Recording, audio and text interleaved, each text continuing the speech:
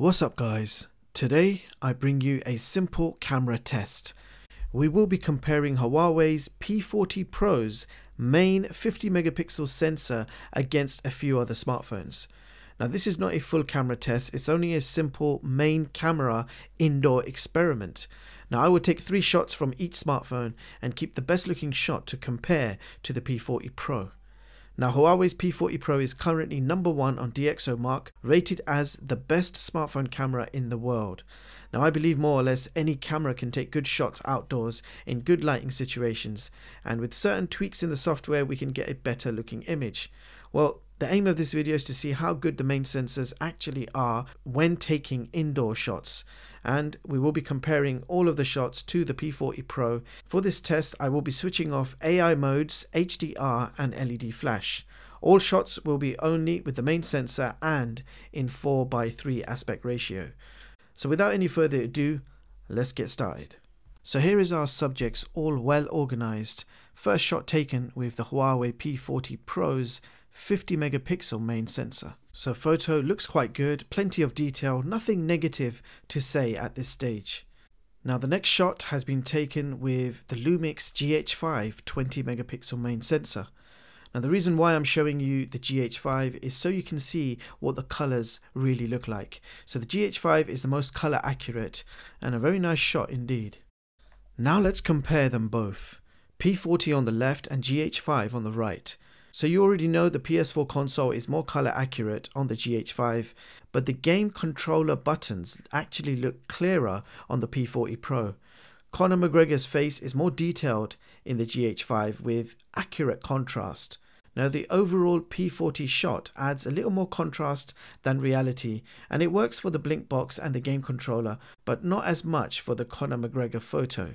Now there is also a tiny mark on my PS4 Pro which is visible on the GH5 and it's near the spider's mouth but the P40 Pro does not show the mark at all. So overall which shot actually looks better to you guys? P40 versus GH5 let me know in the comments below. So next up, in comes the Huawei P30 Pro's 40 megapixel camera. Now these two shots actually look very similar. In fact, the extra contrast in the P40 Pro seems like the only difference I can see. Both shots look great. Which one do you prefer, P40 Pro or P30 Pro? Now me personally, I would give both points to the P40 Pro so far. Let's see who's next. So in comes the iPhone 11 Pro Max's 12 megapixel sensor and all I can say is wow. The iPhone's main sensor just blows your mind. Look at the accurate colors and contrast and detail you can see with the iPhone. If you were to look at this photo with your naked eye, then the iPhone will give you the closest result. Notice how everything is perfectly in focus with the iPhone. And you'll also notice even more marks on the PS4 Pro than the GH5 could pick up. And on that note, you know I have to compare the Lumix GH5 to the iPhone 11 Pro Max just to see who's the boss. It's a very close call, but I'm actually liking the iPhone 11 Pro Max slightly better, especially the detail in the game controller and Conor McGregor's face. Now the next shot we are comparing is the Vivo Nex 3 which has a 64 megapixel main sensor. Now what's interesting with this shot is they both look identical. It's like playing a very difficult round of spot the difference and I can't find any with my eyes. I will let you guys decide which one you think is better but personally I'm going to call this one a tie. So now we are going a little back in time bringing in the iPhone 8 with its single 12 megapixel main sensor. Now this is a very interesting shot here. The Blink logo on the iPhone 8 shot looks nearly blurry and there is also a slight, very faint blur on the X and circle buttons on the controller. So P40 takes this round. Let me know which one you guys like. Now the next photo is Huawei's Mate 20 Pro with a 40 megapixel main sensor. And again, we are seeing the Blink logo is a little out of focus. Other than that, both photos look pretty good but P40 wins this round for me. Now this is the OnePlus 7 Pro's 48 megapixel sensor. Lots of bad points in this photo and I'll let you guys point them out. P40 wins this round too. So we are doing more time traveling, bringing in the Samsung Galaxy S8's single 12 megapixel sensor. Now, for a phone that released in 2017, I have to say the overall S8 shot is not bad at all. Everything seems in focus, slightly less contrast, but all in all, for the age of the phone, it's actually a decent shot. But if we compare it with the P40 Pro, I think we will all agree that the P40 wins this one as well.